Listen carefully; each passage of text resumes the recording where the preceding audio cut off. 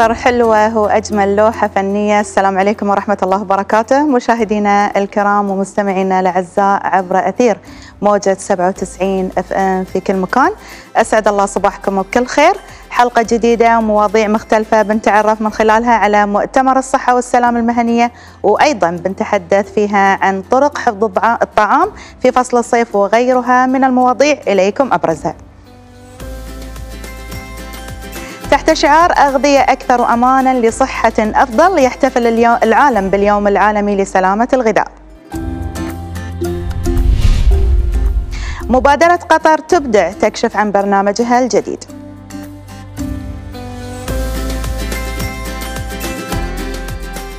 من ضمن فقرات اليوم متابعينا الكرام ومن حول العالم تتابعون فيتنام تشهد ازدهارا للشركات الناشئة المراعية للبيئة.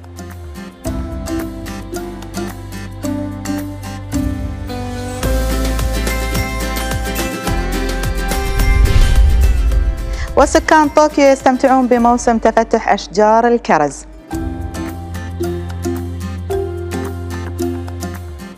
من عناوين الحلقة خلونا نتعرف على سؤالنا التفاعلي لليوم.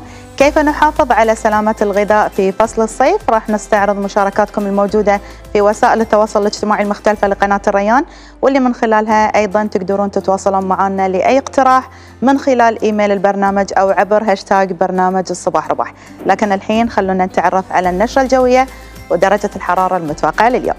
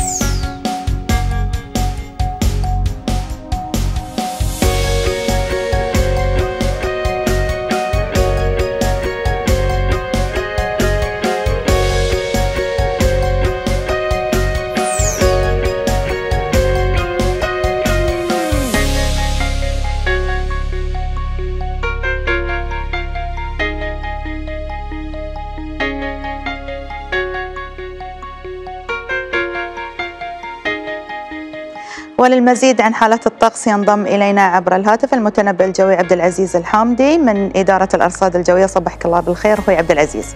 صباح النور يا هلا. حابين نعرف مشاهدينا عن حالة الطقس لليوم بشكل عام. بسم الله الرحمن الرحيم.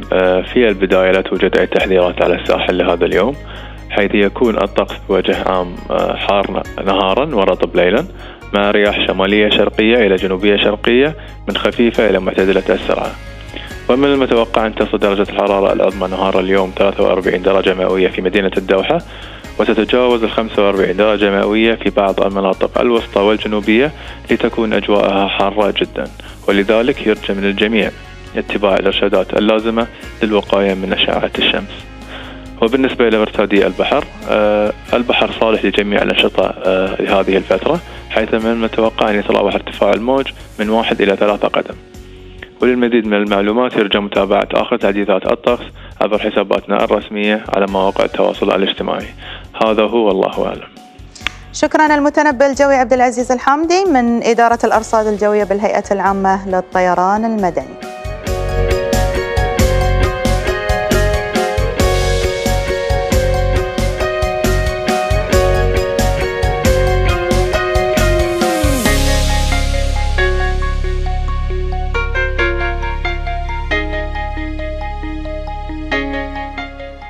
إلى الصحافة المحلية وأبرز ما جاء فيها من أخبار مع زميلتنا فوزية عامر.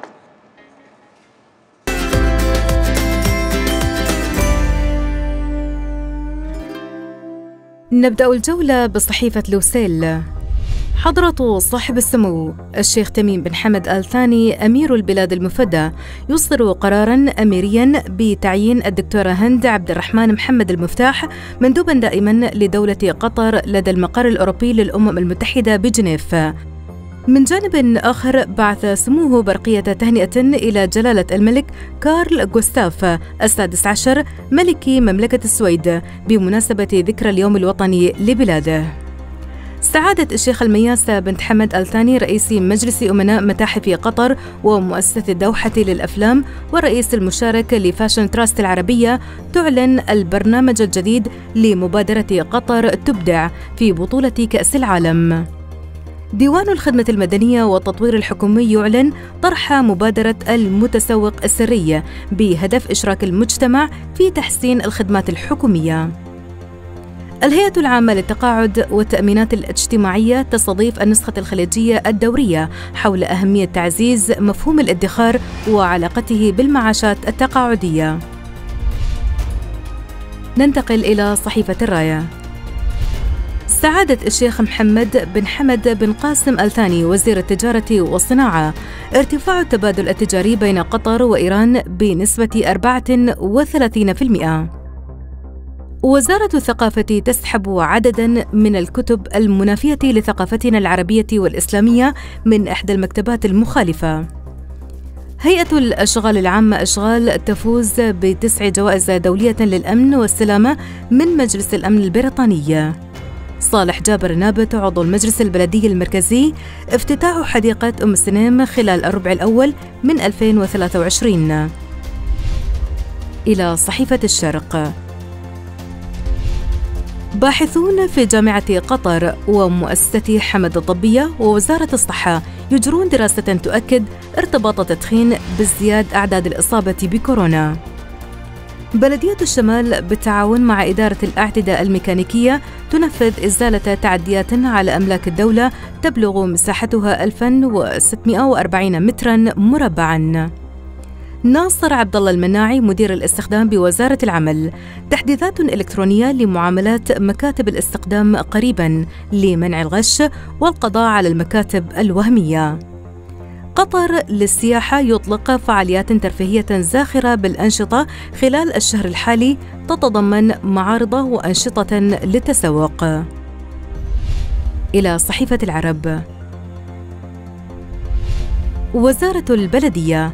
الدعم الذي قدمته الوزارة أسهم في زيادة الإنتاج الزراعي المحلي إلى ما يتجاوز 400% خلال السنوات الماضية ويغطي الدعم 70% من نفقات المزارع.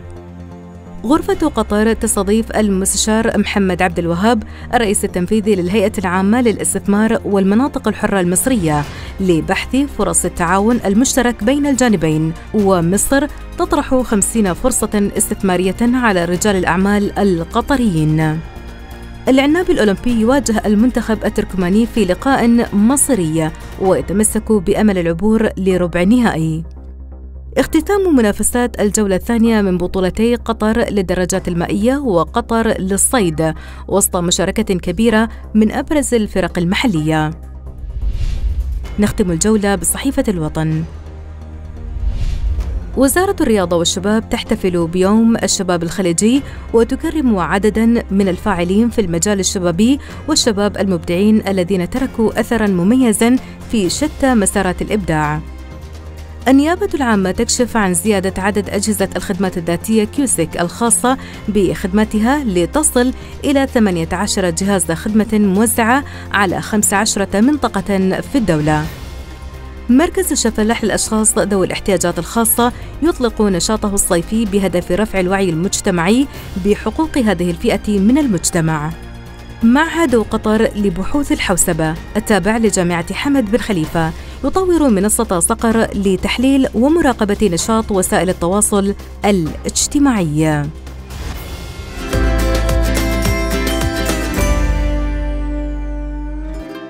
برعاية وحضور سعادة الشيخ المياسة بنت حمد بن خليفة الثاني رئيس مجلس أمناء متاحف قطر ومعهد الدوحة للأفلام والرئيس المشارك لفاشن تراست العربية تم الإعلان عن برنامج مبادرة قطر تبدع وما يتضمنه من فعاليات متنوعة. نتابع التقرير.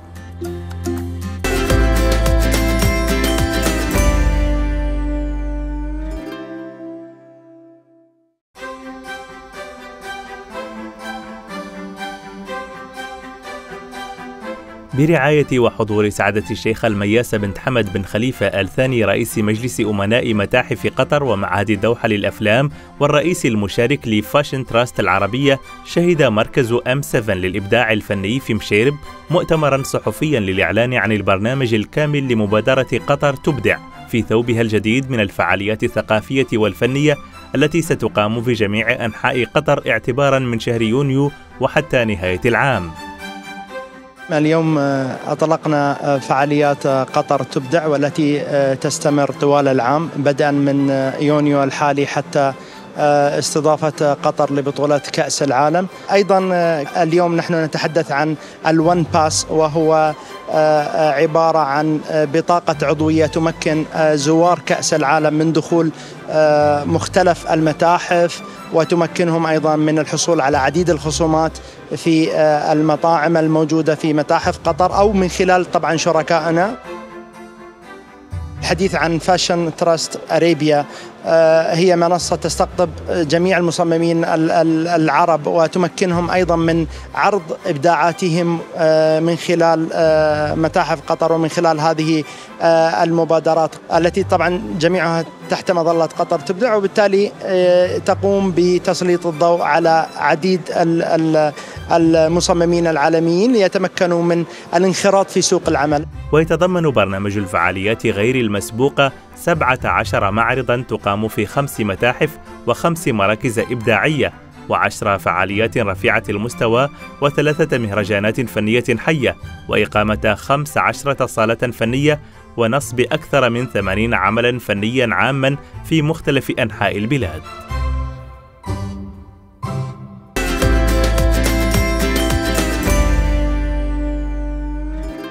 مشاهدينا ومستمعينا الكرام راح ناخذكم إلى أخبار من حول العالم. وفي فيتنام البلد الأكثر تاثرا بالتغير المناخي تزدهر الشركات الناشئة المراعية للبيئة. نشاهد.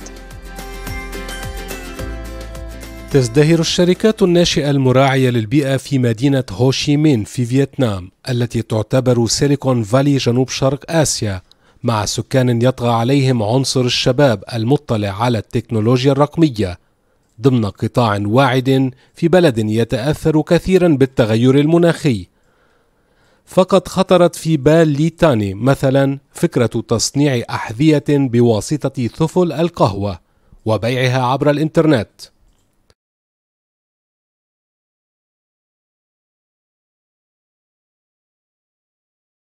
يتم إنتاج الأحذية الجلدية في فيتنام والبيئة ملوثة للغاية. ولكن إذا انتقلنا على الفور إلى منتج جديد كليا سيكون من الصعب أن نطلب من المستهلك أن يبدل اهتمامه. استعمال القهوة سيحسن نوعية المنتج كما أن الزبائن سيجدون أنه أكثر راحة وسيجربونه.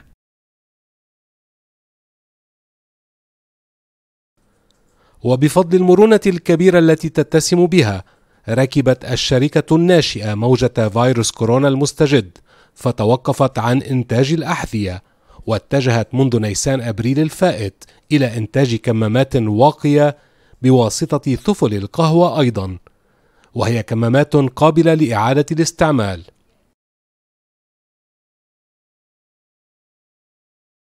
هذا الأمر ليس جديدا على الصعيد العالمي إنما هو كذلك في فيتنام. أجازف بعض الشيء عندما آتي بمنتج جديد إلى فيتنام وآمل أن يشهد نجاحا. فكرتي تنطوي على بعض المخاطرة. لكن الأمر يتطلب المثابرة وعدم الاستسلام.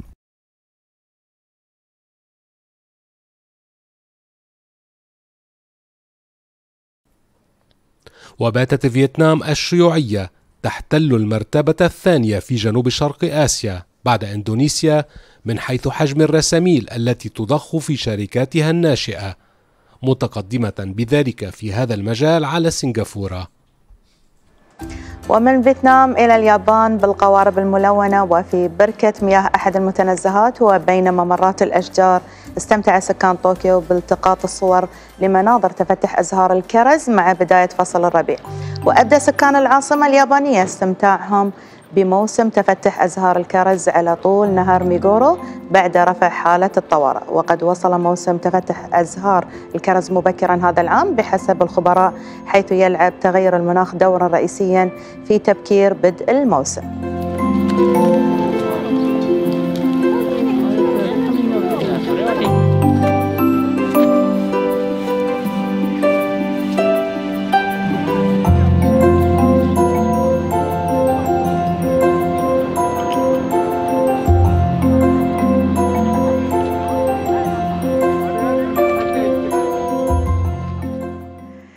أجمل زهرة على أرض الأرض اليابانية طبعا الزهرة المعروضة حيث تستخدم في آه، جميع أنواع العطور ومستحضرات التجميل وما إليها من منتجات ومستحضرات. فقرات ومواضيع الصباح رباح مستمرة معكم من بعد الفاصل خلكم معنا.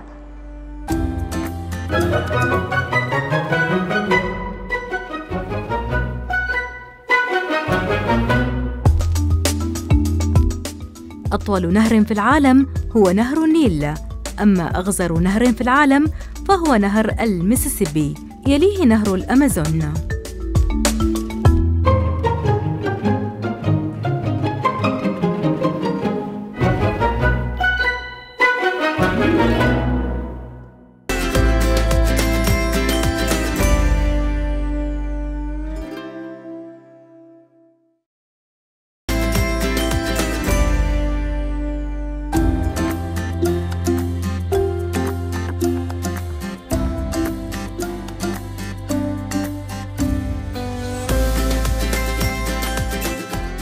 يا هلا ويا مرحبا فيكم من جديد. راح ننتقل معاكم مشاهدينا ومستمعينا الكرام لزميلنا جاسر الحبابي وتفاصيل مؤتمر الصحة والسلامة المهنية. صبحك الله بالخير أخوي جاسر.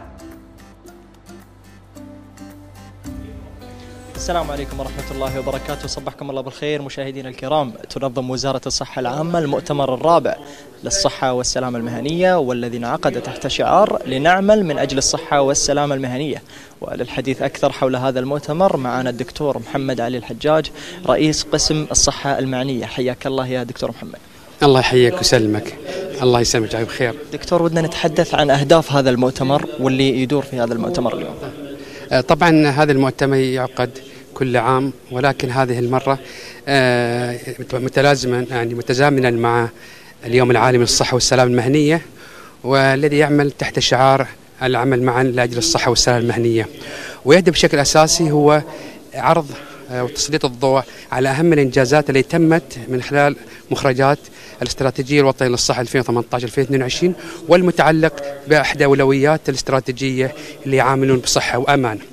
طبعا أهم أهم المخرجات اللي تمت ولله الحمد آه، مخرجات كثيرة ولكن أهمها وأساسها هو تم الانتهاء من إعداد السياسة الوطنية للصحة والسلامة آه، المهنية كذلك تم الانتهاء من إعطاء عمل توجيهات خاصة آه، وجايد لاين أو لوائح متعلقة بالخدمات الصحة المهنية في أماكن العمل. بالإضافة آه، تم الانتهاء من إعداد برنامج متكامل خاص في الصحة في أماكن العمل والذي طبعا آه، يبقى عن طريق تغطية آه، أماكن العمل الحكومية والشبه حكومية بشكل أساسي. بالإضافة تم الانتهاء من إعداد وضع آليات جمع بيانات المتعلقة بالإصابات والوفيات في أماكن العمل. وطبعا كذلك هناك بعض الورش التدريبية التي سيتم عرضها خلال المؤتمر وبعض المحاضرات الخاصة في مجال الصحة والسلامة المهنية. تبارك الله دكتور. بالنسبة للمشاركة أو التعاون خلينا نقول اللي نشوفه اليوم آه، من وزارة الصحة العامة آه، وزارة آه، طبعا الداخلية والوزارات الأخرى. كيف كان هذا التعاون بالنسبة لكم؟ طبعا أي نجاح أي برنامج أو أي مشروع كان لابد من تكاتف بين الجهات المعنية. وكان هذا التعاون له ثمرات كثيرة. اللي لو ما التعاون هذا كان ما تم الإنجاز بهذه الطريقة لأن لتحقيق كل شيء يتعلق سواء بالبرامج أو السياسات أو اللوائح كان لابد من وجود تلك الجهات وكان لهم دعم مباشر بهذا الخصوص خاصة إن الموضوع اللي يتعلق في أماكن العمل يخص الموظفين يخص العمال الحرفيين يخص جميع الفئات المهنية في دولة قطر. طيب بالنسبة لهذا المؤتمر كيف يخدم الاستراتيجية الوطنية؟ الاستراتيجية الوطنية طبعا للصحة. طبعا الاستراتيجية الوطنية للصحة كان من أهم الأولويات من ضمن استراتيجية الوطن الصحه 2018 2022 الأولوية رقم ثلاثة اللي هو عاملين بالصحة وأمان. هذا الاستراتيجية تم تحقيقه ولله الحمد يعني تقريبا ما نقول 100% تقريبا أكثر من 90% من أهم المخرجات في فيما يتعلق بالاستراتيجية الوطنية للصحة. وطبعا العاملين بالصحه وامان هي أحد المجموعات اللي تهدف الفئة السكانية في الدولة. دكتور طبعا هذا المؤتمر هو المؤتمر الرابع مثل ما قلنا في البداية. آه، كيف اختلف هذا المؤتمر عن المؤتمرات السابقة؟ ما هي النقاط اللي اختلفت في هذه السنة؟ آه، طبعا السنة هذه المؤتمر زي ما ذكرت تم عرض أهم الإنجازات خلال السنوات الأربع الماضية اللي تبر نهاية 2022 بالإضافة أن في ورش خاصة تم تحديدها تقريبا ورشة خاصة متعلقة كيفية التزامن مع الحياة ومع العمل وهي مهم جدا في أماكن العمل. كذلك ورشة متعلقة على ما هي الأعراض العضلية التي ممكن يتعرض لها الشخص أو العام في أماكن العمل وكيفية الوقاية منها بالإضافة إلى اللياقة المهنية في أماكن العمل. هذه الورش لم تذكر سابقا خلال السنوات السابقة ولكن أضفناها هذا العام لأن لابد من تطبيق هذه الاستراتيجيات أو هذه المخرجات عن طريق هذه الورش. الله. دكتور طبعا بالنسبة لك من منظورك آه، آه، كيف كان تطبيق آه، بعض النقاط التي تطرح في هذه المؤتمرات؟ هل كان واقعي تطبيقها في الحياة العملية أم لا؟ طبعا بداية كان هناك في بعض المعوقات بعض الصعوبات خاصة في بعض البيانات المتعلقة لصعوبة الحصول عليها باختلاف الجهات. ولكن التكاتف بين الجهات المعنية بالبيانات اللي وزارة الداخلية ووزارة العمل بشكل أساسي ساعد هذا أن إحنا نحقق ما كنا نطمح له. طبعا بالإضافة إلى التوجيهات الخاصة بالصحة المهنية كان هناك صعوبة أن إحنا كيفية توحيد آه، خاصة آه، خدمات الصحة المهنية في الدولة خاصة أن في قطر والدول الخليج بشكل عام نفس الاستراتيجية أغلب الفئات فيها فئات عمالية. فهذه الفئة العمالية كان لابد أنها تأخذ كان لها الجزء الأكبر خاصة أنهم فيها أكثر فيها في الدولة. فلله الحمد الحمد لله كان في بعض المعوقات والتحديات تم تحديدها الحمد لله وتعدينا منها ولله الحمد حاليا في مرحلة تطبيق تلك الإنجازات. دكتور محمد علي الحجاج ما نقول لك كل التوفيق إن شاء الله وبيض الله وجهكم على اللي تقدمه. الله يجزيك خير يعطيكم العافية بارك الله فيك تسلم جزاك الله خير. إذا مشاهدينا الكرام كان معنا الدكتور محمد علي الحجاج رئيس قسم الصحة المعنية من وزارة الصحة العامة وكنا معاكم من المؤتمر الرابع للصحة والسلامة المهنية وبذلك ننهي هذه التغطية ونرجع لكم في الاستوديو.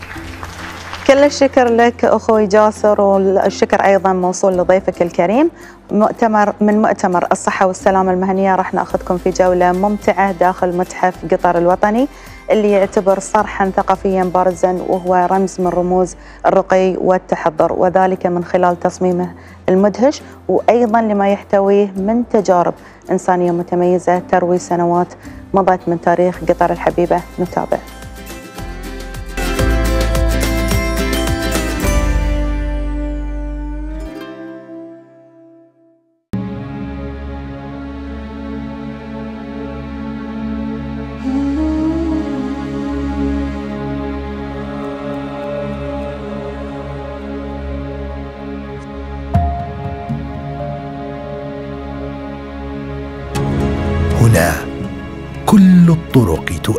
إليه. متحف قطر الوطني ففيه يقترن جمال الحاضر بهيبة الماضي ووهجه. هنا وردة الصحراء تتفتح شيئا فشيئا في الدوحة فبعد أكثر من عقد من التخطيط والعمل افتتح رسميا حضرة صاحب السمو أمير البلاد المفدى الشيخ تميم بن حمد آل ثاني في السابع والعشرين من مارس من عام 2019 هذا الصرح الثقافي العملاق. صرح يكشف عن تصميم فريد استوحاه المعماري الفرنسي جون نوفيل من وردة الصحراء. وهي بنية طبيعية صخرية تتشكل في هذه المنطقة على مدى آلاف السنين.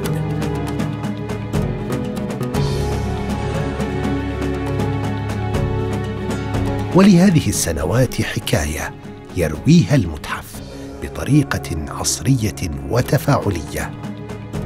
وفيها الكثير من عبق التاريخ وهو الذي صمم ليكون شاهدا على ماضي قطر وحاضرها ومستقبلها أيضا.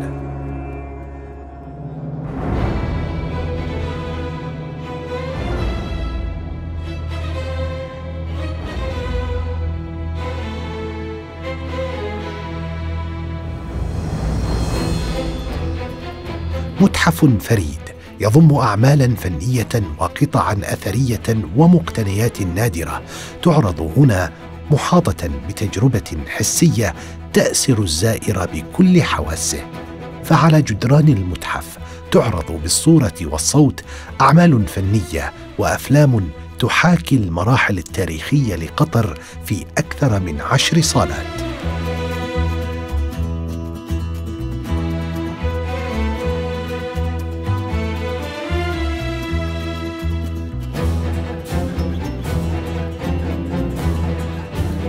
كما يحتفي المتحف في داخله بتقاليد قطر البحرية الطويلة والضاربة في عمق التاريخ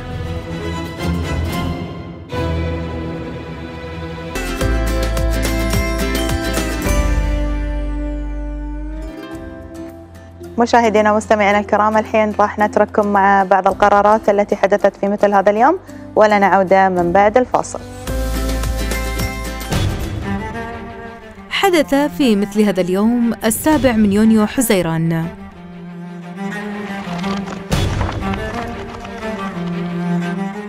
في مثل هذا اليوم من عام 1909 ولدت فيرجينيا أبجر. وهي طبيبة تخدير وباحثة علمية أمريكية ابتكرت حرز أبجر للتقييم السريع والبسيط للحالة الصحية للأطفال حديثي الولادة بعد الولادة مباشرة التي تفيد في مكافحة ظاهرة وفيات الرضاع.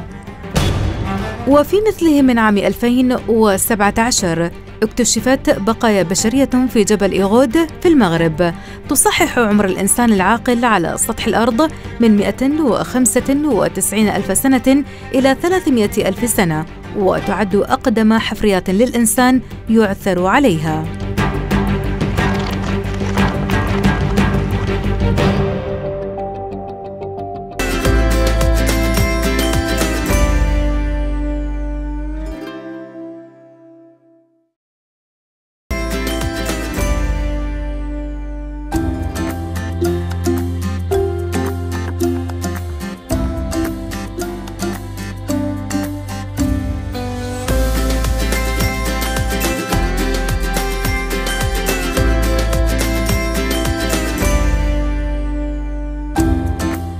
يا هلا ويا مرحبا فيكم من جديد. وصلنا الحين إلى فقرة التواصل الاجتماعي وسؤال اليوم كيف نحافظ أو تحافظ على سلامة الغذاء في فصل الصيف؟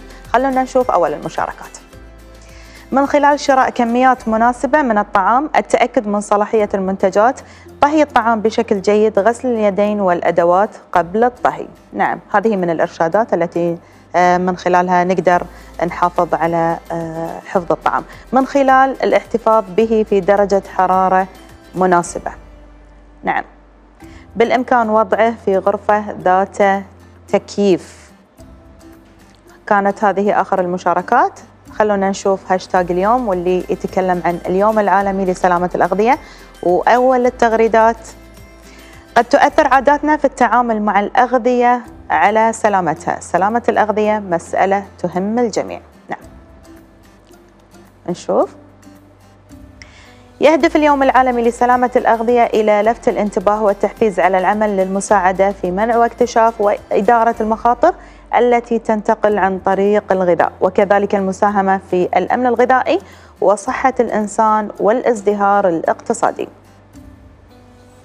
تجنب شرب الماء من العلب البلاستيكية بعد تعرضها لحرارة الشمس. هذه نصيحة. نعم. كانت وهذه أيضا آخر المشاركات من الهاشتاج. ثقافتك الصحية لا تكفي ما لم تكن لديك إرادة قوية وقناعة بأن صحتك أغلى من رغبات نفسك أو الآخرين. شكرا أبو عبد الله. شكرا.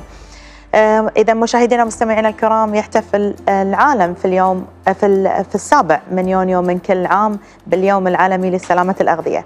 فبحسب منظمة الأمم المتحدة للأغذية والزراعة أن لكل منا دور يؤديه وبما أن سلامة الأغذية تكمن بين أيدينا جميعا فإذا عملنا معا سنتمكن من المساعدة على إيجاد غذاء آمن لصحة أفضل.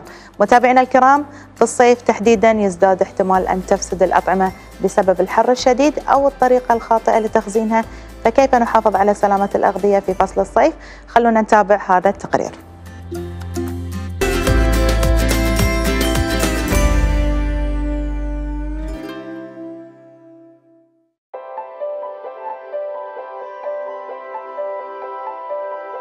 يعد جرد المواد الغذائية في المنزل وتخزينها ضرورة ملحة خاصة خلال فصل الصيف. فإذا لم يخزن الطعام بشكل صحيح فإنه سوف يفسد ويصبح غير صالح للاستخدام. ويمكن أن يؤدي إلى الإصابة بالأمراض وهو ما يمكن تجنبه باتباع النصائح التالية. وضع الطعام في الثلاجة بأسرع ما يمكن لأن البرودة تمنع تكاثر البكتيريا. ضبط درجة الحرارة في الثلاجة على 5 أو 6 درجات مئوية والفريزر البيتي على 18 درجة تحت الصفر. توزيع الطعام بعد الطهي إلى وجبات صغيرة في عدة أوان منفردة. استهلاك الخضار الطرية خلال ثلاثة أيام ويمكن حفظها في الثلاجة حتى خمسة أيام. يحفظ البيض في الثلاجة بين ثلاثة أسابيع وخمسة ومن الأفضل حفظه داخل عبوة كرتونية وعدم نقله إلى المكان المخصص له في باب الثلاجة. عند انتشار العفن على الأجبان الطرية يمنع التخلص من الجزء المصاب بالتعفن فقط لأن الجراثيم التعفن موجودة في الأجزاء الداخلية أيضا وهذه قد تكون مصدرا للبكتيريا الخطيرة. وتكمن أهمية حفظ الطعام بالصيف في الحد من حالات التسمم الغذائي التي تكثر في هذا الفصل لذا وجب الحذر واتخاذ التدابير اللازمة.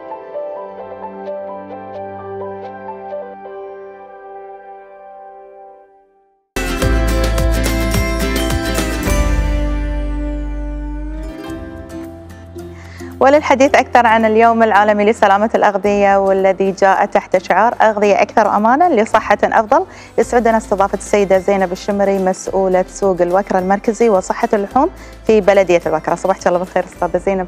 صبحك الله بالنور. حياك الله معنا في برنامج الصباح رباح. الله يخليك الله يحييك عزيزي. الله يسلمك. في البداية حابين نعرف ونعرف المشاهدين عن أهمية اليوم العالمي لسلامة الأغذية. آه، بداية أحب أشكركم على هذه الاستضافة وأشكركم أيضا لتسليط الضوء كجهة إعلامية تسليط الضوء على هذا الموضوع اللي هو يهم شريحة المجتمع كاملة. طبعا من آه، أهدافه هو شد انتباه الناس على أهمية سلامة الأغذية، كيف إن الناس تقدر تحمي نفسها من الإصابة بالأمراض اللي ممكن تنتقل عن طريق الأغذية. نعم. سنويا تقريبا 60 مليون شخص يصابون نتيجة 200 مرض بس تناول أغذية غير آمنة وغير سليمة. أيضا غير صحية. أيوه. نعم. أيضا من اهدافه هو تسليط الضوء على آه، أهم ما جاء في هذه المواضيع كيف تزيد فاعلية آه، سلامة الأغذية في المجتمع. نعم. آه، بما أنك مسؤولة سوق الوكرة المركزي وصحه وصحه اللحوم في الوكرة. شلون تقدرون تأكدون من سلامة الغذاء الموجود في السوق؟ آه، طبعا آه، بلدية الوكرة إدارة آه، رقابة الأغذية تهتم في هذا الموضوع وكل البلديات اهتمام بليغ لأن صحة المجتمع هي هدف هي هدف رئيسي في الدولة كلها ويكون مجتمع خالي نعم. من الأمراض. فيتم الرقابة على الأغذية في جميع عمليات تداول الأغذية الآدمية والتجارية. من من بداية تصنيعها آه، نقلها تعبئتها توزيعها يتم المراقبة عليها بحيث أن نتأكد أنها تصل إلى يد المستهلك سليمة من المزرعة إلى المائدة. نعم. بعض المرات آه، آه، أستاذة زينب إحنا نشوف الرفوف تكون موجودة في في الجمعيات أو في الجمعيات الاستهلاكية آه، تواريخ معينة. آه، هني شلون ننصح المستهلك العام إنه ما ما ياخذها يعني قبل لا تنتهي مثلا بست شهور؟ أو مثلا هاي شلون إحنا نقدر نوعيهم من هالطريقة؟ هني يجي دور التوعية، التوعية يكون عن طريق الإعلام، عن طريق مقاطع الفيديو عن طريق نشر نشر هذه الثقافة. إحنا يعني أنا عن على المستوى الشخصي أتمنى نصل إلى مرحلة تكون فيها الرقابه ذاتية. نعم. حتى نفس التاجر أو يكون خايف أن المستهلك هو اللي يراقبه. ما ينتظر إن جهة معينة في الدولة هي اللي تراقب عشان يبتدي هو يعني خلينا نقول يشل المنتج قبل لا يكون قرب موعد آه انتهائه فتجي التوعيه توعية المجتمع بحيث إنه هو يراقب آه، المنتج اول خلاص أول ما حتى الأمانة حتى الأطفال ابتدينا وفعلا قمنا نشوف الحين الطفل يشوف إنتاجه خلص ولا ما خلص صحيح صحيح آه، شلون قدرت آه، قدرت تساهم في توفير غذاء صحي عبر أجهزتها الرقابية؟ الأمانة لازم إحنا الكل يتكاتف يكون مجهود جميع الأجهزة الرقابية في الدولة بحيث أنه يصل الغذاء آمن سليم نظيف إلى المجتمع. الأجهزة كلها ما شاء الله في جهود متكاتفة. على سبيل المثال لا الحصر وزارة آه، البلدية في متمثلة في إدارة رقابة البلديات تراقب على الأغذية وأيضا تراقب على جميع المراحل اللي تمر فيها الأغذية مثل ما قلنا تصنيع وإعداد وتجهيز وتعبئة بالتعاون مع وزارة التجارة والصناعة نعم. إدارة إدارة الرقا إدارة قسم التراخيص وأيضا حماية المستهلك، هيئة المواصفات والمقاييس هي التي هي التي تشرع الاشتراطات ووضع المعايير، نعم. وزارة الصحة أيضا نعم. في إدارة سلامة الأغذية، كيفية تراقب الأغذية والإفراج عن الأغذية المستوردة من برا، إرسال عينات إلى المختبرات. نعم. اذا ما شاء الله وزارة الداخلية أيضا لها دور كبير. نعم. إحنا أيضا ما نستغنى ما نستغنى عنهم ونحتاجهم اذا إذا لزم الأمر. رجال الأمن أيضا يدخلون معنا في بعض المواضيع، اذا هي منظومة متكاملة. نعم. وصول غذاء سليم وآمن وصحي نعم. إلى المجتمع. بما أن إحنا اليوم طبعا يصادف اليوم العالمي لسلامة الأغذية، أفراد المجتمع لازم منهم ينخرطون في آه، المساهمة آه، في حفظ الغذاء خاصة أن إحنا آه، حفظ الغذاء السليم أو الطرق الحفاظ على الأغذية السليمة أو الصحية إحنا اليوم كف أنا يعني مثلا أنا أكلمك عن نفسي اليوم أنا كفرد من أفراد المجتمع. شنو اللي توجب علي؟ إن على أساس إن أنا أحافظ أول شيء على نفسي وبعدين على أسرتي وبعدين على مجتمعي. شنو الأساسيات اللي لازم أتبعها اليوم أنا كفرد من أفراد هذا المجتمع؟ عشان تنجح المنظومة لابد من مشاركة الجميع. نعم. تقع تقع هذه على عاتق أيضا الجمهور، عاتق المستهلك، فله دور ودور فعال في أي شيء سواء مقترحات، سواء آه، أفكار، سواء مبادرات، بالعكس المجال مفتوح حق الكل والكل يقدر يتوجه حق أهل الاختصاص اللي نعم. إحنا ذكرناهم والباب مفتوح حق الكل ومن الأشياء صراحة اللي نطمح لها إن إحنا نزيد مستوى الوعي في المجتمع إلى نصل إلى الرقابة الذاتية. نعم نعم. آه المشاركة في المساهمات آه طبعا آه إحنا نلجأ دائما حق ذوي الاختصاص. أنا اليوم ما أعرف منهم ذوي الاختصاص خاصة في إذا حابه اني أنا أشارك وأساهم في هاللاي من أروح؟ على سبيل المثال إذا في مجال التشريعات إذا في مجال الاشتراطات عندي فكرة جديدة. ممكن عندي خبرة أنا اكتسبتها من دول مجاورة أثناء دورات أثناء أي طروحات بحوث أنا أتجه حق هيئة المواصفات والمقاييس نعم أنا عندي على سبيل المثال رقابة نعم. تعليق على أي شيء في فكرة آه، مشروع جديد ممكن ابلكيشن ممكن أنا نعم. أتجه إلى وزارة آه، البلدية اللي هي إدارة الرقابات أنا نعم. عندي في مجال المختبرات أتجه إلى وزارة الصحة نعم آه، في فترة من الفترات أختي زينب كنت في دولة أوروبية الحلو كان في الموضوع ان لما تدخلين المجمع اللي فيه الأغذية على أساس إنك تشترين كانوا حاطين نفس السلات السلال اللي تكون إحدى بعضها وسلة من السلال حق اللي تو انتهى قريب يعني راح ينتهي قريبا.